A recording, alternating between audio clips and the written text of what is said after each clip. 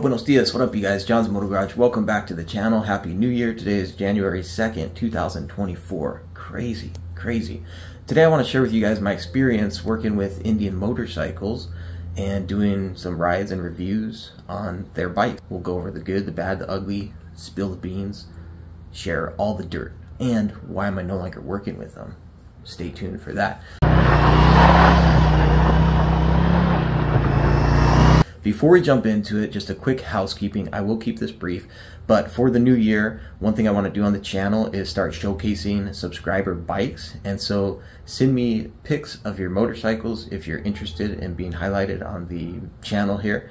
Send me a pic of your bike and a little blurb about it. jonsmotogarage at gmail.com. Big shout out to Dustin, subscriber from Alberta.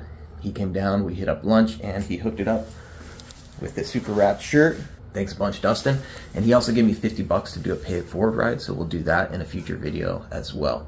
And then lastly, with my videos moving forward, I want to start doing like weekly challenges, just small challenges, nothing big, but I'm getting old. I'm 35 years old. I'll be 36 this year. It's crazy to me how how that's happening and that's old relative to me obviously may not be old relative to other people out there watching the video i want to start doing little challenges to see if i can still you know, do some of the things I was doing in my youthful years. And so today at the end of the video, I'm gonna see if I can still do a standing backflip. Haven't done one for a really long time, was never super good at them. I can do a backflip off of stuff, but I wanna see if I can still do a standing backflip. So stay tuned to the end to see if we can pull that off.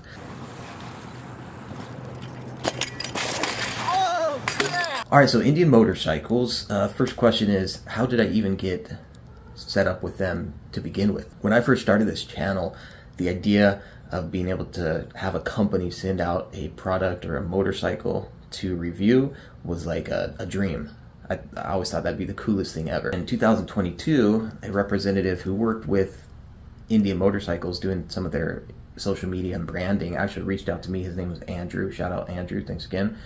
And he hit me up saying, "Hey, would you be interested in doing some you know, taking our motorcycles and trying them out and doing videos on them. And we went back and forth for a little bit. I remember telling him I'm down to do it as long as I don't have to go by off of any script.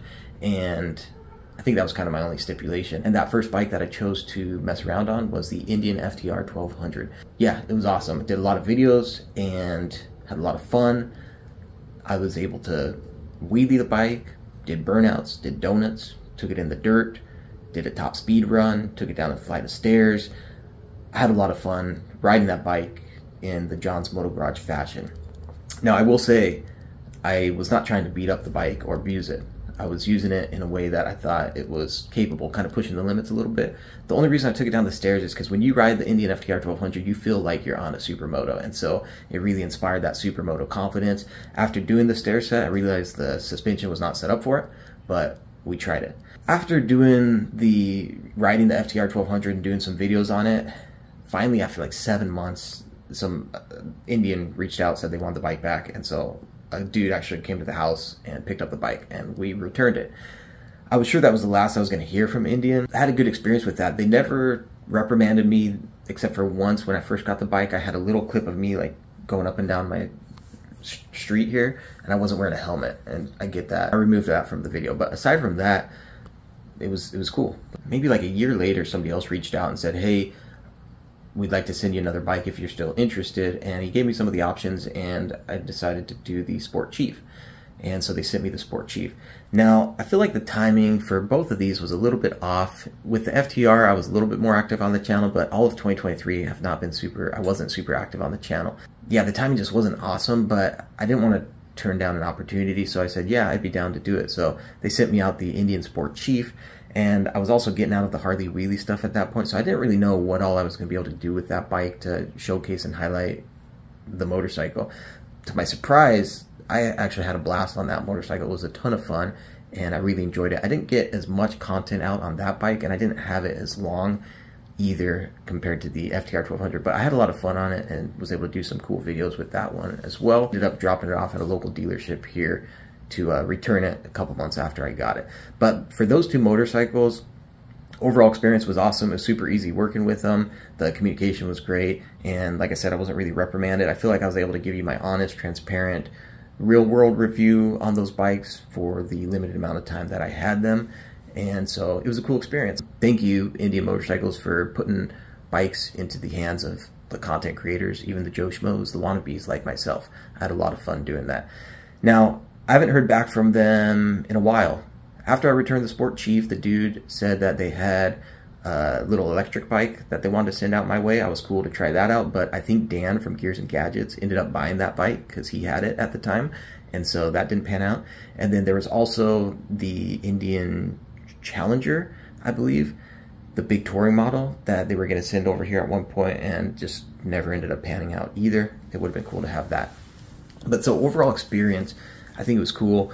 I had a lot of fun working with it. I think there's always this little bit of conflict of interest when a brand is sending you a product and I wasn't paid for any of it. And I tried to make it clear I didn't want to be going off of any script. I wanted to be honest and transparent. I feel like I did a good job with that, but I feel like there's always still that little bit of conflict of interest, you know. But truth be told, both bikes I think were great. The reality is I'm not one to go out and buy a brand new bike for 20,000 bucks. So personally, I'm not going to go buy either of those bikes, but I think they're great options for consumers if, uh, if, that's your thing, you know, if you dig it. And that's what's cool is as a consumer having the different options. So great experience there. If uh, anybody you know is listening from Indian or Harley or whoever it may be, I am still down to try out other motorcycles. Um, but I'm busy nowadays. Like I said, when I was active on the channel, that was like the dream was having somebody send me a motorcycle so I could do the ride review and stuff on that bike.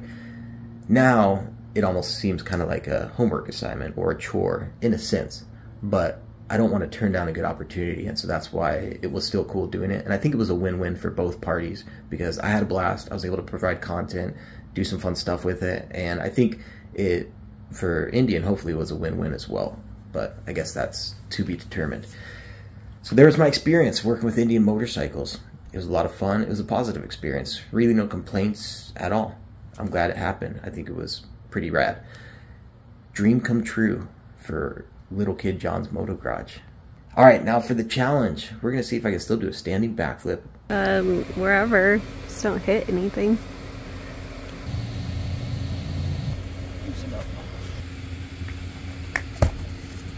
Oh, jeez. Freaky. Something popped. Oh, I just thought of my pop. Ugh. All right. Not as strong as it used to be, but technically we landed it. All right, I just watched back the video of my backflip, and I don't think I was ever good at standing backflips, but man, I need to work on that technique. Reality is, though, I'm probably not going to. Backflips aren't super high on my priority list anymore, but hey, we pulled it off, sketchy as it was my my goal with these challenges is going to be doing stuff that I'm capable of. I don't want to get injured or hurt doing it, but just to kind of have fun, you know, see if I can still do kickflip on a skateboard or you know 360 on a BMX bike, just little stuff to sprinkle into the videos moving forward, keep them a little bit more entertaining. Thanks again for uh, watching. Like, subscribe if you dig it. Shout out again to Dustin. Thank you for the shirt, super rad. Send me videos or pictures of your bikes if you want to be showcased in future videos. And I think that's going to do it for today. Shout out to Jackie for filming and we'll catch you next time. Adios, nos vemos.